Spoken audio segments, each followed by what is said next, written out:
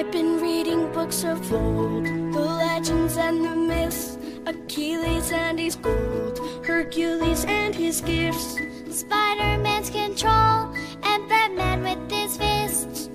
And clearly I don't see myself upon that list. But she said, Where'd you wanna go? How much you wanna risk?